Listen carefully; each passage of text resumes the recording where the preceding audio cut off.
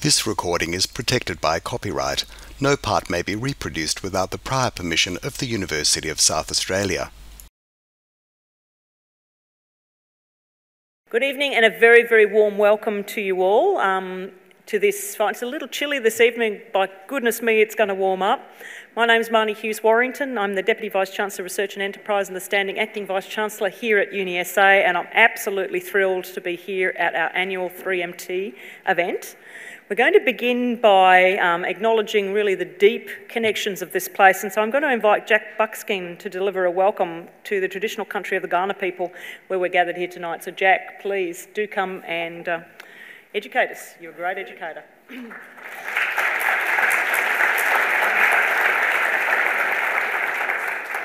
Nah, Marnie. That's amazing. That was like half the room answered that. Um, I remember when I started teaching, I'd ask the crowd, nah, Marnie, and hear crickets. Um, shows you how long, how far we've come as a, as a community to, to embrace and utilise and learn language. Uh, for those that don't know, nah, Marnie means are you all good? And the response to that is Marnie I.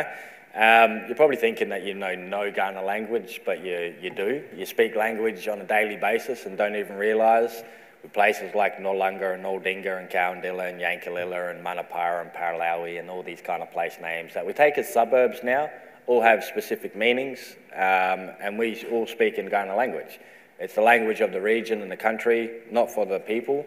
Us as people speak the language that uh, uh, of this region to help us understand it. Um, and we've spent the last 40 years in revitalising and learning our mother tongue language. I haven't been around that long, but um, the elders have been around that long um, and gave the opportunity for me to, to relearn uh, my mother tongue language. And I, I, identified strongly as Narungga from the Yorke Peninsula as my family was taken to Yorke Peninsula and Point Pearce Mission um, and was given the opportunity to leave. Uh, first, my grandfather left under an exemption certificate, which meant uh, he was no longer an Aboriginal person and he moved over to the Riverland for a number of years. Um, in 1972, we came to Adelaide um, after uh, the missions and reserves closed down, um, and we became free people. Mum came here and uh, started primary school and high school, and I'm the second generation to grow up in this society. So, um, Mum missed out on speaking language. Um, her, her, father wouldn't teach her because he was physically beaten, but uh, when I got the opportunity to, to start learning my mother tongue language, I asked her and, and, asked her if she wanted to come along to a language class. She lasted about six weeks at the most, and then I kicked her out. Um, just don't have your mum come to your class. don't tell me how to say that. I was like, you get out my class. Um, and then I apologised when I got home and asked her if dinner was ready. But uh, for, for me to be able to stand and represent my family and community in, in speaking our mother tongue language is an honour as I was the first person to be able to speak language fluently, um, publicly, um, since colonisation of South Australia. So it's a long time um, and a lot of people don't realise the global influence that Kaurna have and Kaurna language revitalisation has on, on endangered languages around the world. And for me to be a part of that is, is a blessing, but I wouldn't be here without the elders that have gone before me. So I also pay respects to them. Arlo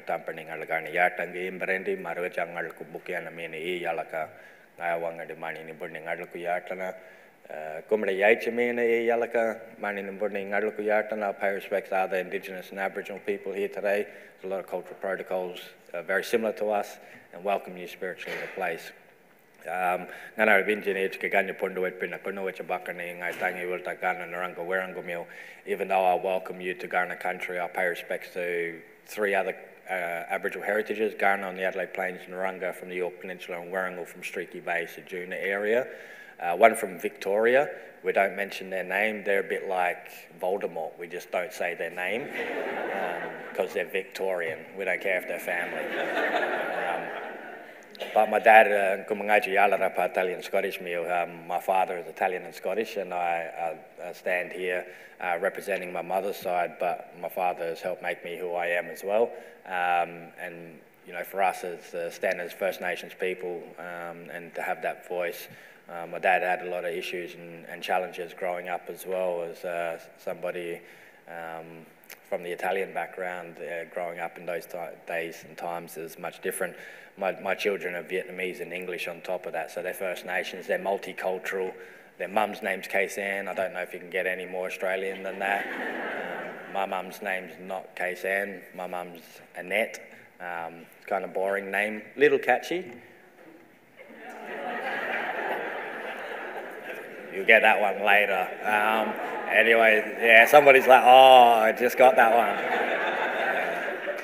Uh, but thank you very much for allowing me to be able to be here to acknowledge our ancestors as we gather here today. We let them know that we all come as friends of country. We're not here to disturb it and ask for them to bless and look after us as we gather here today. I'm going to stick around and enjoy it. Three minutes. I probably had that time went a little bit over, so if you go over, you get deducted points. Those that are coming up to speak, I'm not going to get deducted any points because I'm not in the grand final. Um, I didn't even get shortlisted. Um, but thank you very much, everybody. Enjoy the rest of the night. I tell you.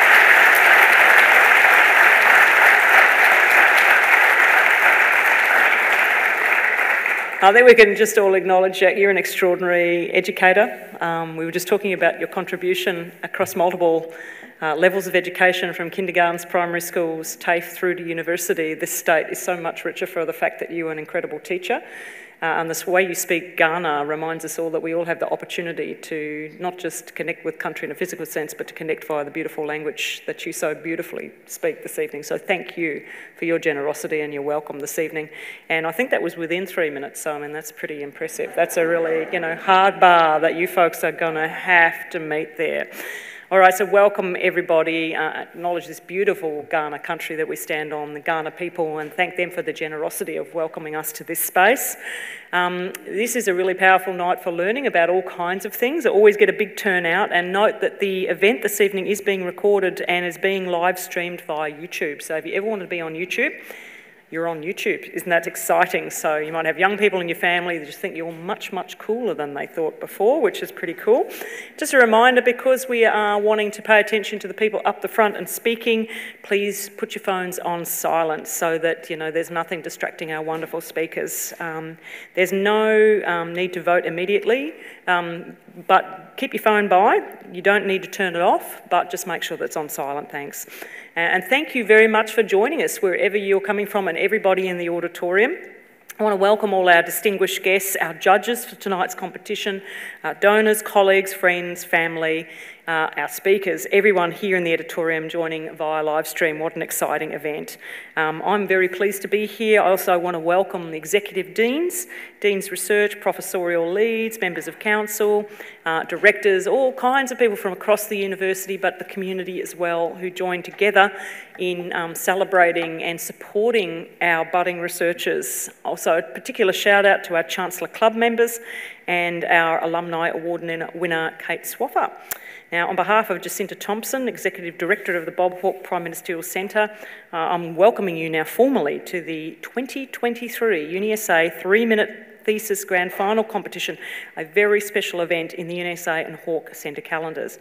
And the first thing I want you to do with me is to just put your hands together and welcome our seven PhD student finalists.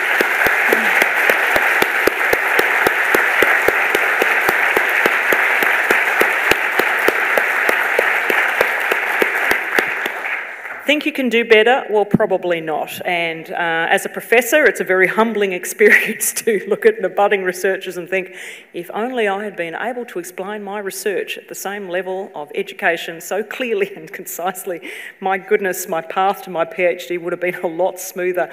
And I'm very impressed by all of your talents. You represent the seven academic units, a very broad spectrum of research areas we undertake at the university, and you are an absolutely incredible inspiration um, not just for other research students, but for our community, but all of our research community and our staff. So congratulations to you for the inspiration that you give us. Now, the topics that you're going to cover tonight, all kinds of things, ways we can develop a greener future for mining the finer points of entrepreneurship and innovation, and the wonderful things we can learn by studying our brain while it's asleep. Now, tonight's finalists are amongst the very best of UniSA's almost 1,000 PhD students, and they've already been through a previous round and they've won their individual academic unit 3MT competition, pretty stiff competition. Everyone we're going to hear from tonight's worked incredibly hard. You've really pushed yourselves to step outside your comfort zone and progress through the competition, and I know you've received help and you've just taken the feedback and got better and better and better. Now, distilling an entire PhD thesis into just three minutes, which could be 100,000 words, folks, that's what we're talking about in some cases, into three minutes. And delivering that to a general audience is an incredible challenge. And our seven finalists have all embraced that superbly. So you're remarkable. Being able to communicate clearly and effectively has become really, really important for our researchers. You might notice as people publish journal papers now, they're also being asked to do short videos of their journal papers to explain their work to general audiences. And of course, if you watch the news on any night of the week, you'll see UniSA's researchers explaining research over and over again on all kinds of things. It is an expectation that we don't just do this research because we find it interesting. We actually want to do research because we want to change society and we want to improve the economy. And part of that is actually being able to explain it to other people and to be able to support them to adopt those ideas. Now, tonight's winner will progress to the 3MT Asia Pacific semi finals to represent UniSA at the next stage of the competition. So, best luck to all of you. But before we begin, I'd like to acknowledge and thank Jacinta Thompson, Executive Director of the Bob Hawke Prime Minister's Ministerial Centre, for again co-hosting this event. Thank you, Jacinta, and including it in the Hawke Centre's very popular public events program. Thank you to all the people that have come along tonight, uh, the loyal friends of the Hawke Centre, and any visitors from the public who will be new to these events. We hope that this will be interesting to you if you've been to a few, we hope you'll come back again. If it's new, please come back again. As ever, the Hawke team have been fantastic in hosting this event, and a big thank you to Renee Jolly and Cara Zanotti from the Centre, who've been really supportive and incredibly helpful. I'd also like to thank the many volunteers who are helping tonight with lots of different things to make it run smoothly. A special thank you to our amazing audiovisual and IT gurus, Adam Leahy and Shane McCarthy. And last but not least, I'd like to acknowledge and thank Dr. Kirsty Turner, whose tireless efforts, fantastic organisational skills, and attention to detail over very many months, and I can tell you she does because she reports on this all the way through the year, means that this is an incredibly well organised event, and she supports and really, really loves watching, seeing what's coming up through the academic units. It's an incredible event, so Kirsty, thank you for all your hard work this evening. Okay, give me great pleasure to introduce you to your MC for tonight, respected journalist journalist, UniSA PhD candidate and winner last year, Lainie Anderson. Now, you, her PhD research is exploring the life of South Australia's Kate Cocks, who in 1915 became the first policewoman in the British Empire employed with the same salary and arrest powers as men. So she won, she stormed home to victory last year for history that was really good. and as a columnist for Adelaide Sunday Mail since 2007, Lainie is an ambassador with the Hutt Street Centre. She sits on the South Australian Regional Selection Committee of the Winston Churchill Memorial Trust. Earlier this year, she was announced as the 2023 Emerging Historian of the Year by the History Council of South Australia. Please welcome me, join me in welcoming Lainie to the stage, your MC. Come on up.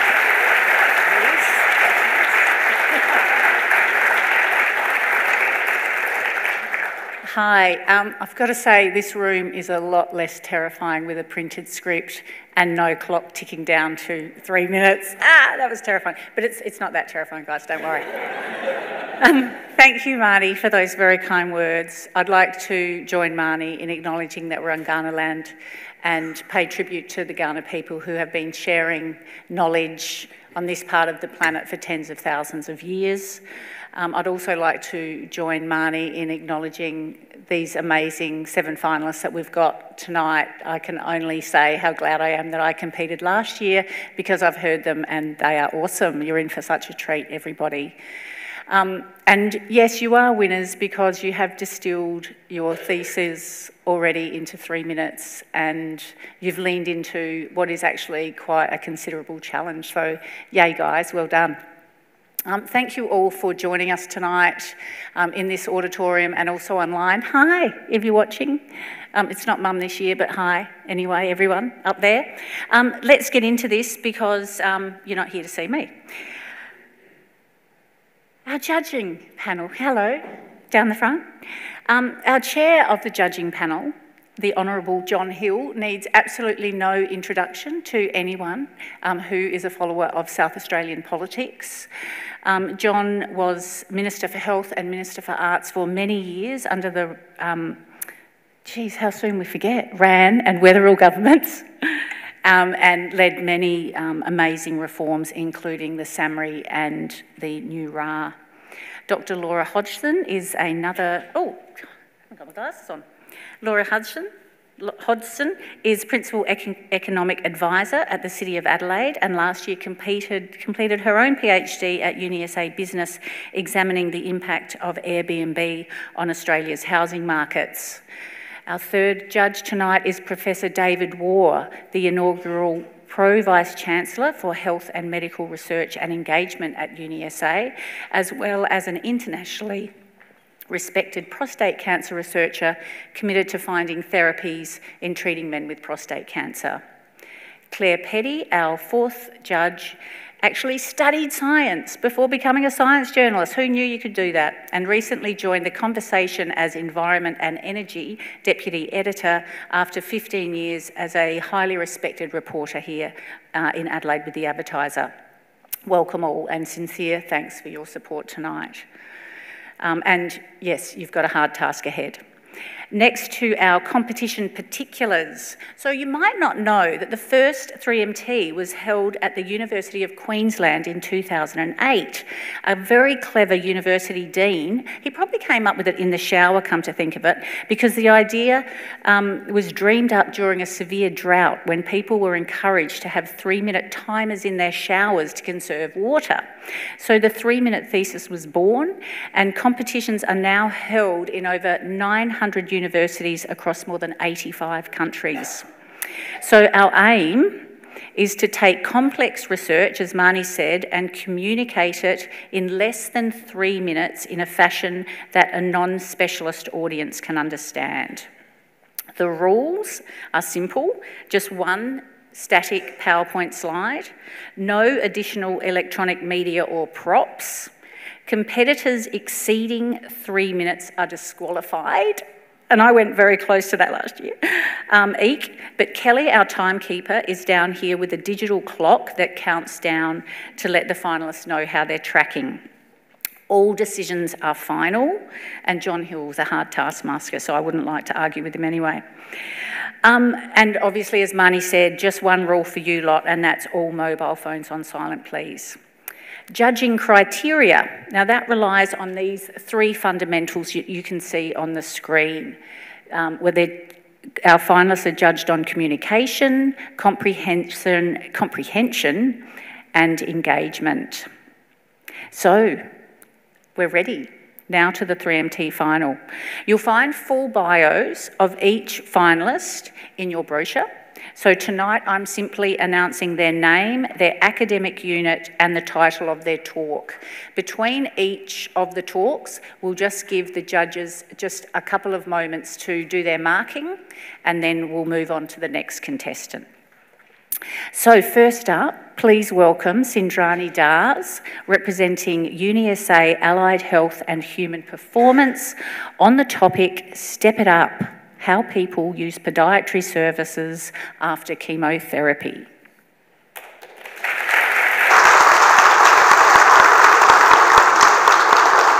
Surviving cancer must be such good news to return to a normal life without worrying about fighting cancer. But what if I told you that this may not be completely good news?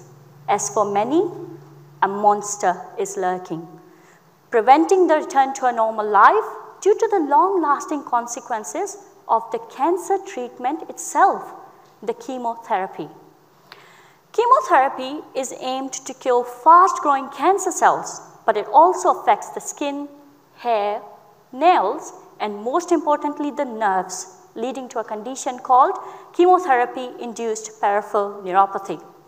This neuropathy mainly affects the nerves in the legs, meaning a person's ability to sense, feel and react to stimuli as normal is gone below their knees. Now the current cancer survival rate in Australia is 70%.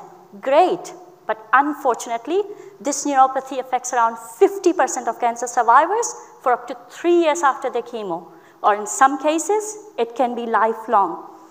Imagine surviving a deadly cancer, but then to live with severe nerve pain, electric shock-like symptoms, or not being able to feel the limbs at all. Think of what this can do to our ability to drive, or our ability to stand and walk without falling over.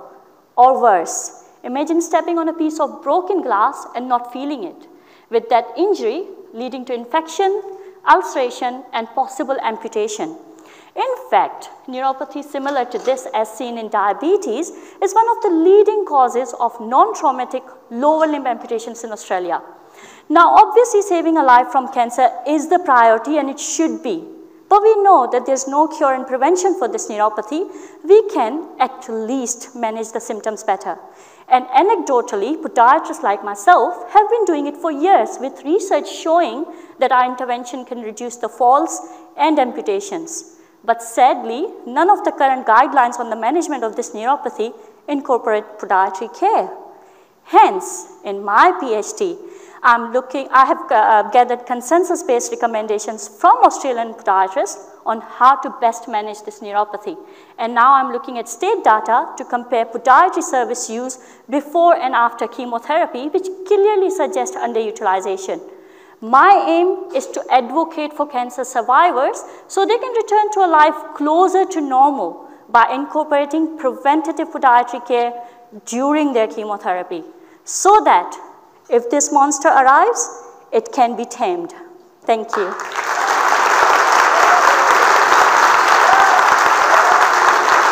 Sindhrani, that was awesome. Finalist two tonight is Hayley Caldwell, representing UniSA Justice and Society, on the topic Recreating the Sleeping Brain During Wake, a comparison of memory mechanisms used to learn.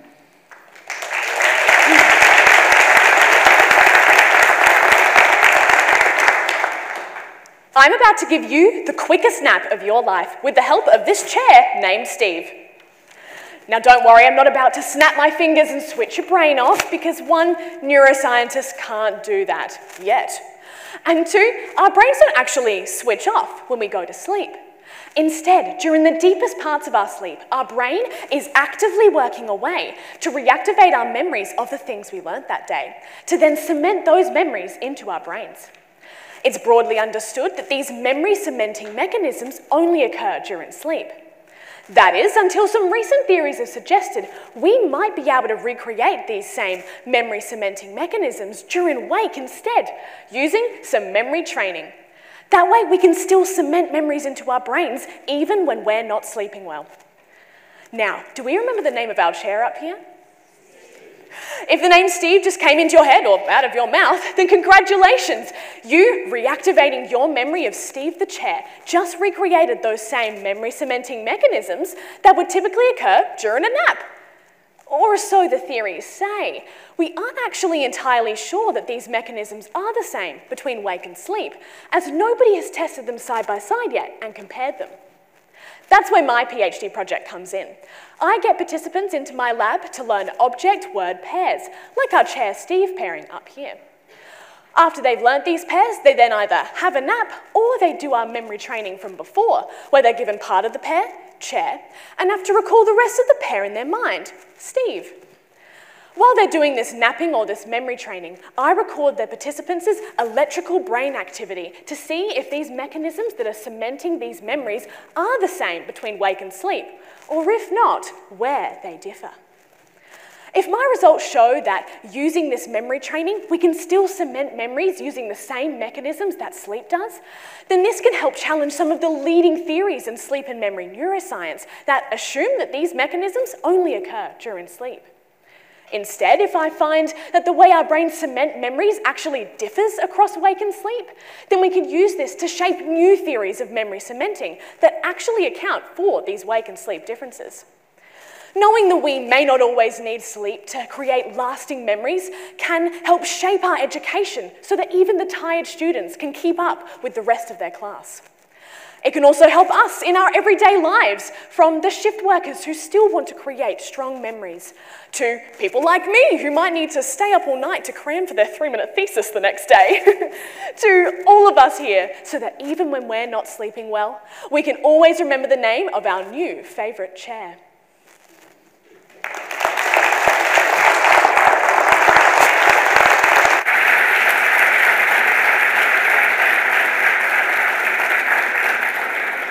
Just awesome, Hayley. Well done.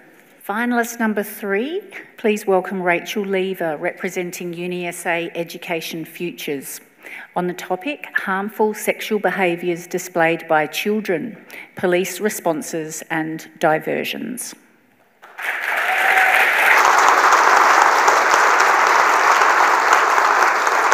This is Joey, Joey is a 12 year old boy, and it has just been brought to light that Joey has been sexually abusing his 8 year old brother. Police have attended and they've taken Joey into their custody. Joey's entire family, including his 8 year old brother, are absolutely distraught at the thought that Joey could be imprisoned. It has been disclosed that Joey is from a home in which domestic violence and neglect are prevalent, and Joey himself a victim of child sexual abuse.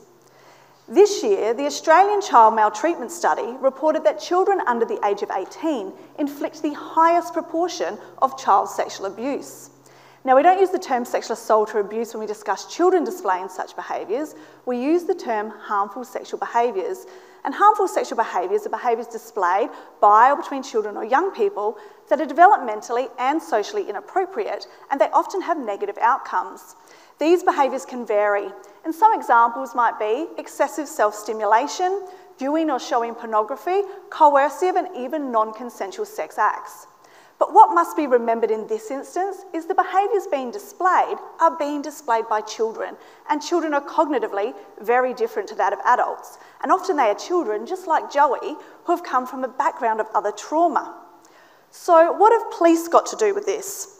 Well, having been a police officer for almost two decades, what I can tell you is that police like myself are usually one of the first points of contact for children who are engaging in these types of behaviours. And police, when dealing with children and young people, can often use a wide range of discretion, and how police respond can play a fundamental role in the outcome for these young people. Current justice system involvement, which absolutely can include incarceration, is known to increase reoffending and restrict rehabilitation outcomes where therapeutic based interventions are best known to address these types of behaviours. Now, my research aims to investigate current police responses and attitudes to these behaviours, as well as the use of police discretion and their ability to divert children engaging in these behaviours. My study involves an Australian wide survey of police officers and follow up interviews. And though my data collection is in its infancy at present, what has already been seen is that police attitudes not only influence response, it also influences their willingness to use discretion. Police knowledge, the availability of resources, and current legislation also have an impact on the use of police discretion and on their ability to divert children from the justice system. My research is about preventing children like Joey from being ingrained within that justice system and looking at alternative therapeutic pathways that can best address these types of behaviours. Child protection is everyone's responsibility and every single child deserves our protection.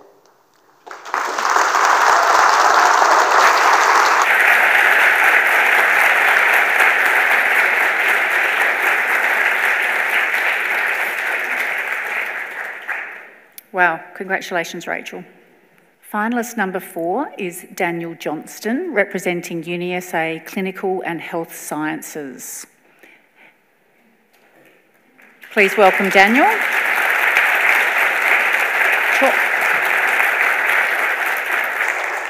Daniel's talking on the topic of cancer stories in education. Think of a time when you thought to yourself, if only people had just listened to me and my experience, you would have understood the situation better and achieved a better outcome to the problem you were facing. Well, in the cancer setting, we have made tremendous advancements in how we treat and manage such a complex disease by listening to scientists and medical experts. But who we haven't been listening to as well is the people actually experiencing cancer and on the other side of those treatments. And with their experience, they can offer us great insights into how we can advance patient care and communication. And one way in which we can do so is that through the education space. Now, programs do exist where people impacted by cancer are able to come and share their stories with students in a hope that students will take something away from it and be better for the experience. But a lot of these programs exist with little to no input from our lived experience experts and also have a lack of direction in what they aim to achieve. So the question is simple. When we hand over complete control to the experts in this situation, what is the outcome? And so the great power of this study is that not only are we including people impacted by cancer to be participants in the research, but to also advise and guide the way the research has evolved as the process has gone along. And it also includes being carried out by myself as a cancer survivor. So in the first study, I interviewed 21 people and asked them the question, if you were given complete control of the classroom, how would you use your experience to educate healthcare students on patient care? And that included everything from the environment they wish to teach in, the content they wish to teach, and the outcomes they hope to achieve for themselves and for students. And what was interesting is that when it came to the outcomes, there was a lot of discussion around the use of reflection type practices. So that has helped inform our second study, where we've been able to go out and see what research has actually been done in the way reflection has been used by healthcare students after engaging with someone impacted by cancer be that in the clinical or education setting. And there isn't much. But that has provided us an opportunity in our third study to explore this concept further. So we can take everything we learned from our first study, create an environment in which people impacted by cancer can come in and share their story their way with their outcomes in mind. And then we can have half of the healthcare students undertake a generic reflection exercise and the other half undertake a reflection exercise that has been guided and informed by our lived experience experts. Then we can compare and contrast the depth of critical thinking and reflection they are able to achieve by doing so, and hopefully it is greater when we use an informed and guided approach. So when all is said and done, not only have we listened to people impacted by cancer and their experience to empower them to be leaders and educators in the healthcare space, but we have also ensured that future healthcare providers have an enriched learning experience that might just help us advance the way we look at patient care. Thank you.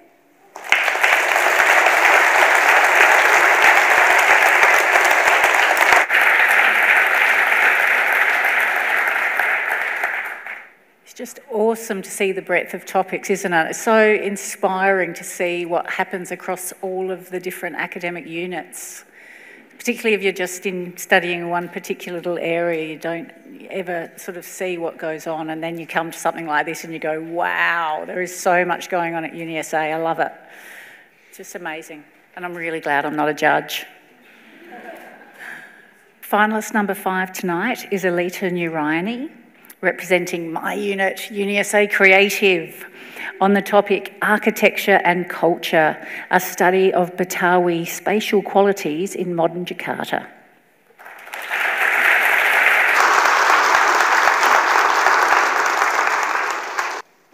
In my modern home, I often see my mom sleeping on the floor. It was her mom's habit to stay safe during a deadly plague in her village. Apparently, evil spirit cannot bend down to harm those sleeping on the floor. Now, every time my mom feels unwell, she will sleep on the floor. This is the 19th century Betawi houses, the ethnic group of Jakarta. Back then, the Betawi had space to greet their guests outside, but now the Betawi have sold most of their lands and live in a crowded urban space. Yet, they adapted small verandas to continue greeting their guests outside. These examples shows us that culture is not fixed, but a lived experience adapting to changing physical forms. Unfortunately, there is minimal research exploring how cultural heritage is practiced in modern houses. Most experts condemn physical changes when discussing culture and architecture. The Betawi are victims of this debate. Experts want them to preserve these traditional forms, assuming it is the only way to preserve the culture. The emphasis on the physical form had diminished the notion that culture is represented in everyday routine. The problem lies in the assumptions that culture has been lost along with its traditional forms. This is where my research will contribute to find out how modern Betawi houses may hold intangible cultural heritage in everyday urban Jakarta. How? by analyzing the correlations between physical forms, routine, and feelings. My research involved observing modern Betawi houses and everyday routine in urban Jakarta and asking the Betawi about their feelings and memories of homes. My analysis on traditional Betawi houses uncovers cultural significance of water on verandas alongside with um, recreation and entertaining guests. Then I will see whether these cultural practices continue to live today. With this knowledge, I can suggest the future home design that honors the Betawi cultural heritage, but also functional for the Betawi whose culture changes and adapts to circumstances. More broadly, my research can help us understand that ordinary things you do at home may have cultural meanings that are important for your future home design, just like the Betawi and my mom.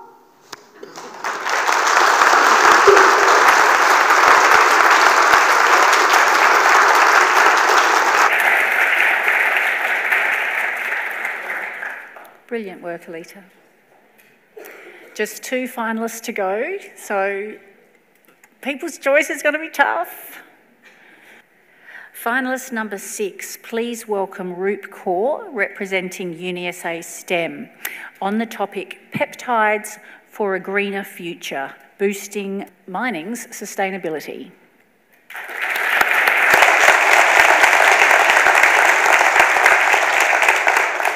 Mining.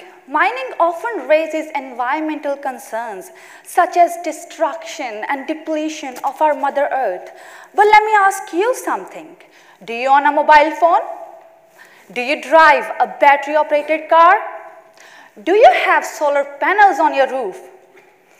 If your answer to any of these questions is yes, then sorry to break it to you, you're using way too many rare earth metals.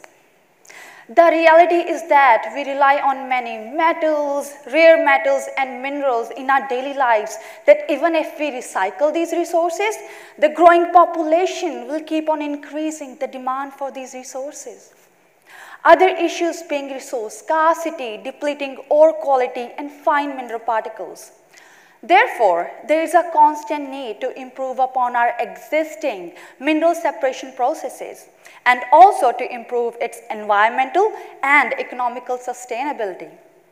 Well, one way to do that is by creating more effective and selective biodegradable chemical reagents that could be used to separate minerals from one another. In my PhD project, I'm working with peptides. Peptides are small biomolecules made up of amino acids. And as you all know, amino acids are the building blocks of our life. These can be arranged in multiple ways to form peptides with different functionalities. Such functionalities then help us to selectively collect or selectively reject the wanted minerals from unwanted minerals.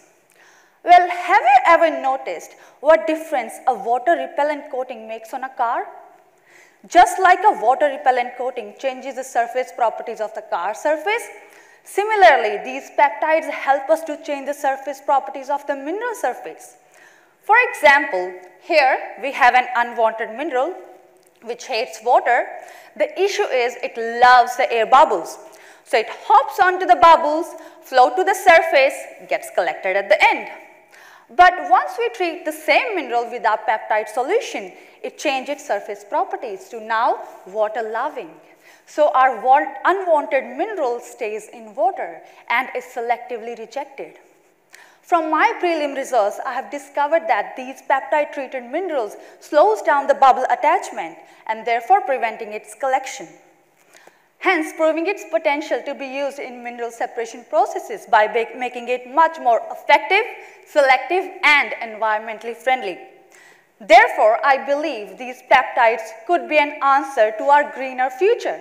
Thank you.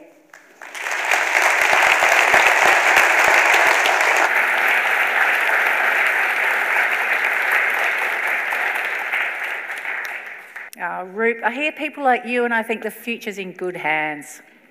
Amazing, well done.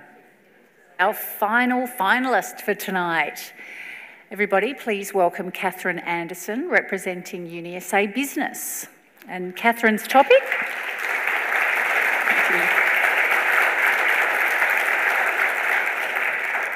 Kathryn's topic is Does Place Matter for Entrepreneurship and Innovation? We wonder these days if the proof of our humanity lies in our ability to select the squares that show a certain image. Technology allows us to collaborate at distance without the barriers of physical location. We could sit on a tropical beach and start a global company, right? But the truth is, there's a very real human side to innovation and entrepreneurship that needs place. For more than a century, economists and geographers have observed that when businesses group together, they do better. Think of the silversmiths of Sheffield, uh, the, the leather workers of Italy, or the, the techies of Silicon Valley. Shared resources like talent and skills, innovations and technologies help to start new businesses new industries, even. The idea is that there's just something in the air of places like this that makes them successful. But if we simply co locate the right businesses and people, does it all just happen? Well, this is Tonsley. I was one of the founding members at Tonsley, and places like Tonsley, innovation districts, have become a leading strategy for economic development and rebuilding economies, but at multi million dollar costs. So I wanted to know how they tick. My comparative case study dives deeply into the qualities that matter for innovation and entrepreneurship. I interviewed entrepreneurs, CEOs, policymakers, and district managers, and I poured over hundreds of websites, media articles, and government documents.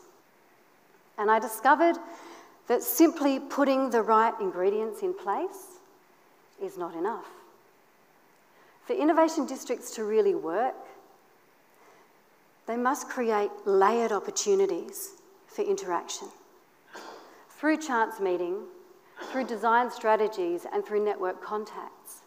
The place must connect up the capabilities on site with strategies for economic, eh, for economic priorities and it needs to tell you who is there, what they do, and how to reach them.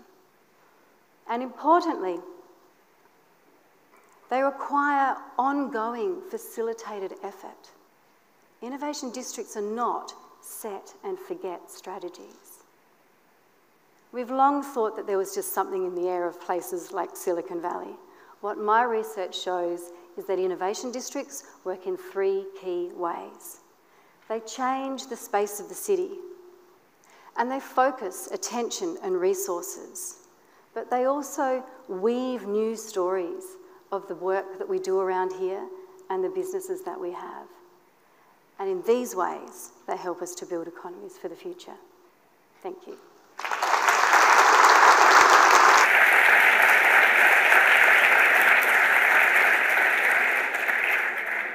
What a cool cat. Well done. Have fun, judges.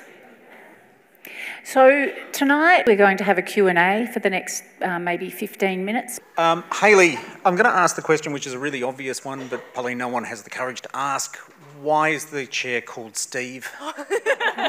is there a particular rationale? Why Steve? Um, well, uh, I'd love to say that there's some like great uncle called Steve that I've attributed this to, but um, it was really just first thought, best thought. Um, I was um, I was writing it uh, my my speech, and I knew that I wanted to do like a like a quirky object with like a really not quirky, but like a mundane object and a mundane name. Sorry if anybody's name's Steve. I'm so sorry. People's choice is done. It's fine. um, so. I lost my train of thought. Um, yeah, so then I just, that was my first one because I was spending so long just on that. It was the hardest part of my spa- uh, speech to write was to choose what name and an object. So um, I was just like, all right, first thought, best thought, and then I'll just, I'll write it later. Um, and then it just stuck. I just couldn't see the chair as anything but Steve. I love Steve. It couldn't be anything else. Um, oh, up the back, yeah, behind there. Hi, congratulations to you all. That was fantastic. Um, my question's actually for Rachel. Um, I was just going to ask, I'm always quite, I always find it quite compelling when someone notices something in their working life and, you know, enrolls in a PhD to try and fix it. So I was wondering a little bit about your decision um, to go from being a police officer to being a PhD student. Uh, I guess I've probably reached a point in my career where I was looking to do something different. It's probably really just that simple. Um, being involved in the, the justice system for 20 odd years, you can often see so much wrong. Um, and being able to do this PhD is giving me an opportunity to, I guess, do some right, feeling like I'm, you know, be able to maybe implement some changes down the line. Yeah. Oh, great. Great answer. Questions? While you're thinking, I have got a question for Rani. H hello. What are the next steps for your amazing research? Oh, that's a lovely question. Um, when I started this research, uh, my focus was to make, make it meaningful, not just for us as professionals, but for people who come and see us and trust us, um, handle their care to us. So as I have mentioned, I have um, gathered the recommendations from the podiatrists working in the community to see how they are managing it. And now I'm looking at the data to compare and look at that service utilization. So the next step forwards, which I'm hoping to do postdoc, um, would be to actually then back up what our podiatrists have said by some research, which in our world we call evidence-based practice. So I would look into, say, for example, whatever treatment options are available for this neuropathy, what is the research behind it, how strong those treatments are, and how will they be effective um, for us to incorporate as clinicians and to help the, survive, the cancer survivors as much as we can with the best that's available out there. Yeah, thank you. Brilliant.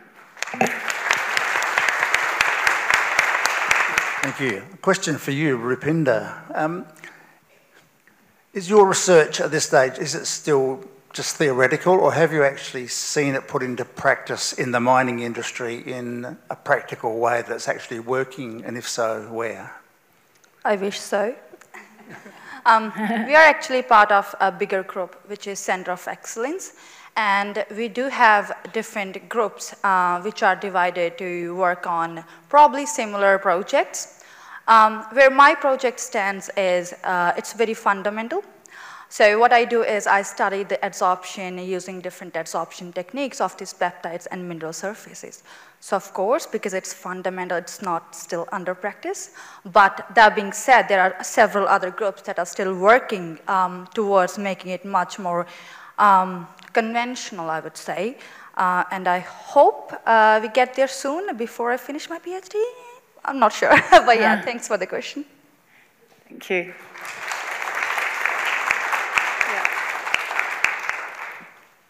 Thank you. Hello. Well done, everyone. Uh, my question is for Kathryn.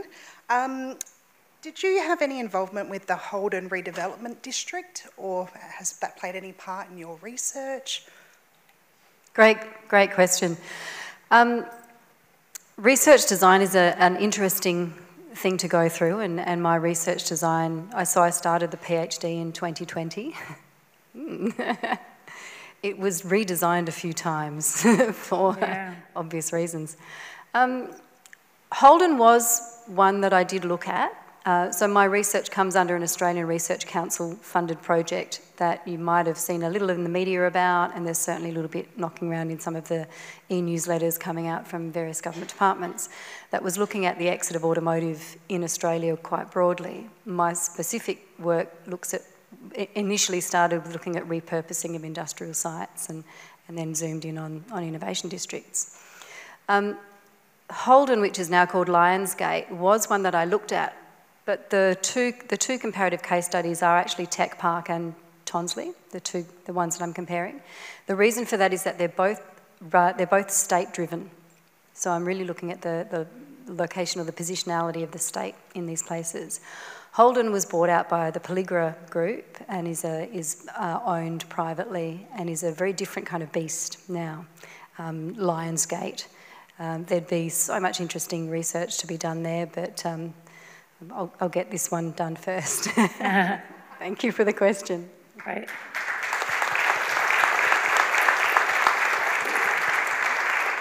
My question is for Elita. What is the implication for your study? Thank you. I'm aiming for two right now. So basically, my research is about theoretical. So my first implications is to um, giving additional perspective from a different um, in the theories because mostly right now they're focusing to preserve the physical forms. And then um, with this research, I hope I can show that, hey, the activities is also can say like preserving the cultural heritage as well, not just the physical form, but the combinations of the physical forms, the activities, and also the, the feelings of the, the, the, the community as well. And the second one is the, um, as I'm showing you in the slides, that the, they changes the houses not because, because of the urbanizations and migrations, and they grow, they have to sell their lands to give it to um, new migrants coming in. So doing so, um, they're having, they're being blamed for like, oh, you're not preserving your own culture. So in that, in that way, with this research, I can help the Betawi as well to say that um, actually they're still preserving their culture through their daily activities. Not, although their forms now modern looking, they're still doing their cultural heritage, that kind of thing. So thank you so much for your question. Mm, that's great. Fascinating. Thank you. Um, I have a question for Rachel. So, Rachel, um, with your project or your research, what outcomes are you hoping for? What would you like to see? Any changes or anything in particular you'd like to see from this? Great question. Uh, some of the outcomes that I would like to see is some of the, so I'm doing a national sort of sh shot of, of how police um, responding across all of Australia. Uh, and what I would like to see is really less imprisoning of our children, so less incarceration of our, of our young people, um, and looking at therapeutic type of diversions across each state uh, in which children that are displaying these types of behaviours, because they're very complex types of behaviours, uh, that are, they're able to be diverted into programs that can actually assist them um, with addressing these types of behaviours rather than just incarcerating them. Mm, great.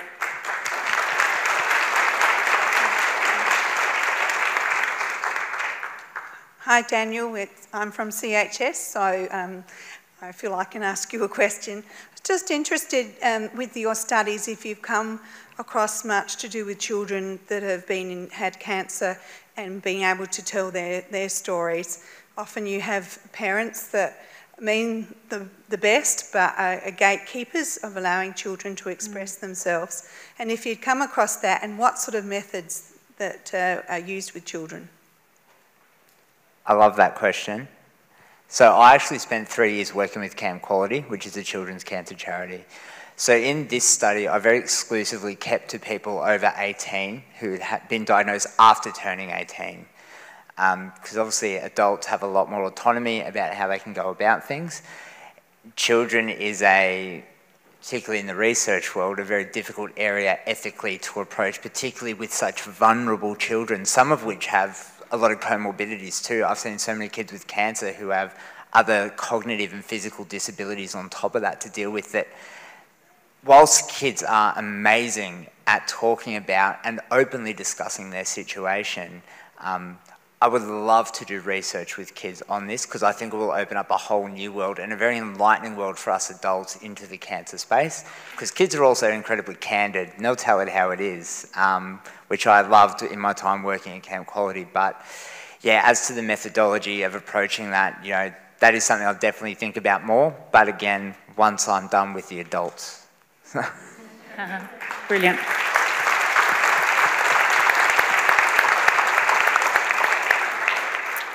Now, I'm going to make an executive decision and say that all questions are finished. I'm sorry, um, because um, our judges have finished their judging.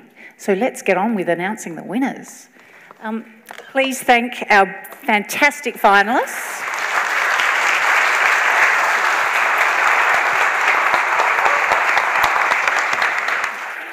We'll start with People's Choice. And um, our People's Choice winner tonight and winner of a $1,000 research grant is Sindhrani Dars.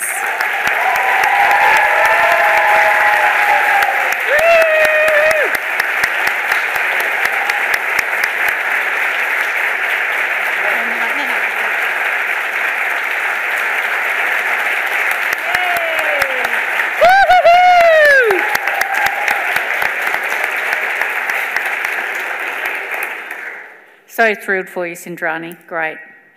Our runner-up tonight and second place, winner of a, another $1,000 research grant, is Rachel Lever.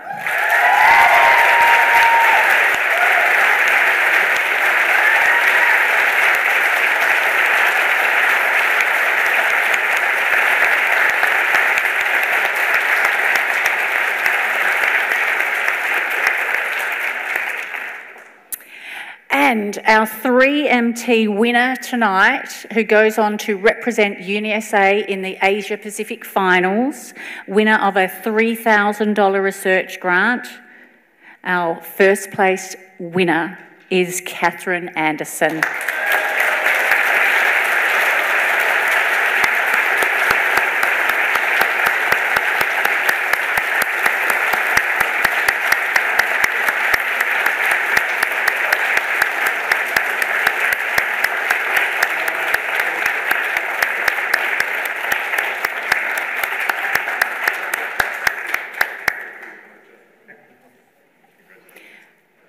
Please join me in congratulating again our uh, three winners, but also all of our seven finalists who have, have just been outstanding tonight.